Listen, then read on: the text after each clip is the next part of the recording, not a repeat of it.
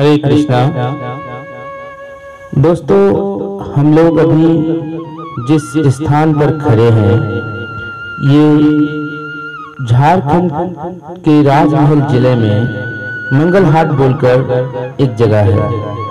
ये स्थान कन्हैया नाटशाला नाम से भी परिचित है। चैतन्य महाप्रभु पहली बार जब गया से अपने पिता की पिंडदान करके लौट रहे थे नवद्वीप की ओर। इसी स्थान में आकर उन्होंने भगवान श्री कृष्ण से मिले। चैतन्य महाप्रभु का अद्भुत भाव था उस समय। हम लोग अभी उसी स्थान पर खड़े हैं। अभी आप लोग जिस पेड़ को देख रहे हैं, ये वही पेड़ है जहाँ पहली बार चैतन्य महाप्रभु भगवान श्री कृष्ण से मिले। ये स्थान ये स्थान चारों तरफ़ से गंगा नदी से घिरा हुआ है। एक टापू के ऊपर ये मंदिर है। बहुत ही अद्भुत सुंदर जगह है। हरे कृष्ण।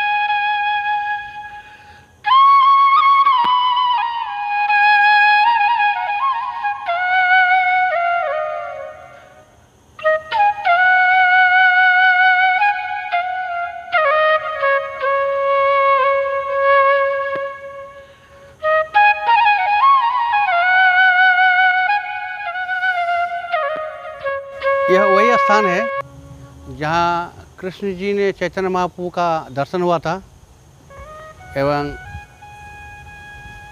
यहाँ दर्शन करने के बाद आलिंगन करके यहीं से अंतर ध्यान हो गए थे भगवान श्री कृष्ण जी। और भगवान का चरण चिन्ह बगल में वहाँ वहाँ पर निकला था। नीचे में नरसिंह भगवान था, इसके बाद ऊपर में चरण चिन्ह उसको उठा कर ले जाकर वहाँ पर प्रतिष्ठा किया गया। इसलिए ये वृक्ष 500 साल पहले का वृक्ष है। यहाँ पर भगवान एक महात्मा जी रहते थे, जिनका नाम है तुलसीदास बाबा जी महाराज। तुलसीदास बाबा जी महाराज यहाँ पर बैठ के तपस्या करते थे और फलार बाबा था। एक घटना है, एक बार एक सांप तुलसीदास बाबा जी को डस लिया था, लेकिन तुलसीदास बाबा जी का कुछ नहीं हुआ था, सांप मर गया। सांप मर गया था और तुलसीदास बाबा जी कुछ नहीं हुआ था।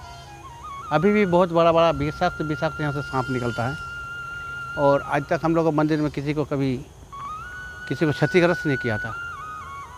हम लोग का इसमें बहुत बहुत प्रकार का वृक्ष है। तमाल है बड़ वृक्ष है अस्थामा है। इस तरह से बहुत सारे वृक्ष इसमें मिला हुआ। और ये ये जितने भी काला काला वृक्ष है ला, ला, ये वृक्ष तमाल वृक्ष है तमाल वन। सब तमाल वन भगवान जहाँ पर लीला करते हैं, वहाँ पर इस वृक्ष रहता है तमाल वृक्ष। तमाल और सामले बाबा बालक सुंदर। तो यही तमाल वृक्ष है। इसी रंग, यही तमाल वन।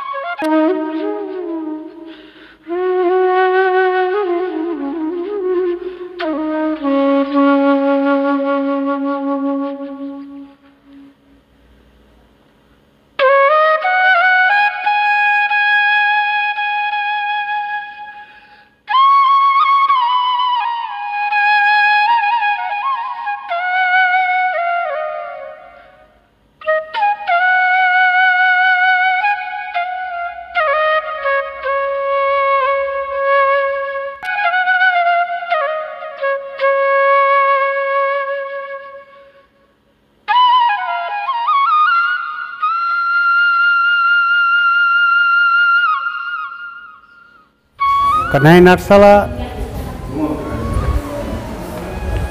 विशेष स्थान है, जहाँ दो लीलाएँ हैं। एक वृंदावन लीला, दूसरा चैतन्य लीला। तो आज से पाँच सौ, पाँच हज़ार वर्ष पूर्व भगवान श्री कृष्ण ने वृंदावन से आकर यहाँ पर नृत्य किए थे। नृत्य किए थे? वृंदावन, निधिवन का घटना है ये। जब जब भगवान श्री कृष्ण ने निधिवन में महाराज रचा रचे थे भगवान श्री कृष्ण निधिवन में अपने सख, सख, सखी को अपना रूप का डिवाइड किया था सोलह हज़ार एक सौ आठ पटरानी के साथ में। तब राधा जी जब इस लीला को दर्शन कर रहे थे तो चकित हो गए थे। ये क्या है? तभी भगवान श्री कृष्ण ने जब राधा का ये स्वरूप देखने के बाद हठात करके राधा रानी को लेकर अंतर्ध्यान हो गया। और अंतर्ध्यान होने के बाद फिर यहाँ पर आकर वही लीला, नृत्य आकर यहाँ पर किया। था इसलिए इस स्थान का नाम है कन्हई नाटशाला। ये हो गया कृष्ण लीला और चैतन्य महाप्रभु इस स्थान को प्रकाश किया।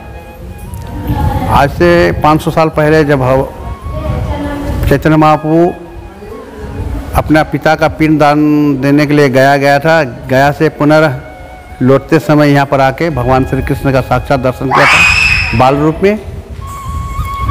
और दर्शन करने के बाद चैतन्य महाप्रभु का जो मूल उद्देश्य था कृष्ण भावनामृत प्रचार करने का। सो कृष्ण जी का दर्शन होने के बाद उन्होंने विभोर हो गया था, कृष्ण प्रेम। कृष्ण प्रेम विभोर होने के बाद पुनः उन्होंने लौट के नवद्वीप गया। नवद्वीप में कृष्ण प्रेम का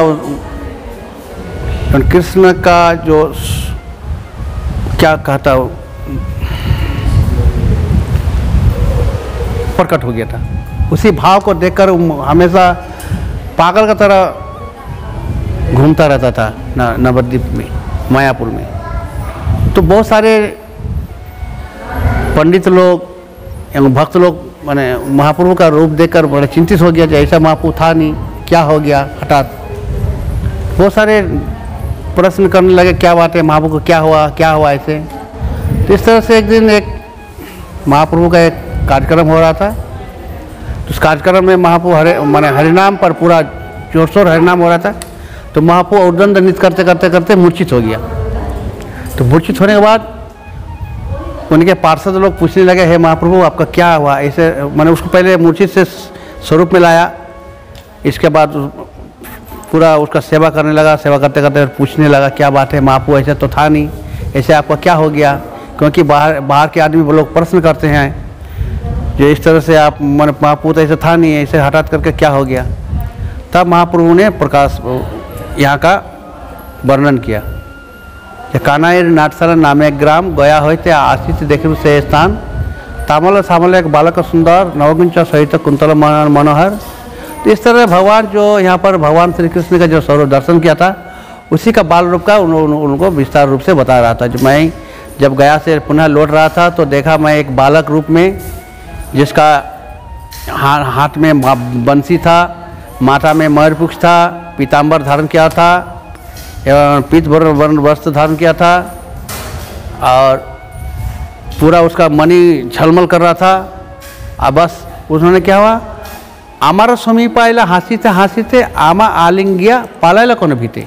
तो हमको इस तरह से मेरे सामने आकर और मुझे आलिंगन करके फिर अंतर्ध्यान हो गया। तो मैं कृष्ण को पाकर खो गया।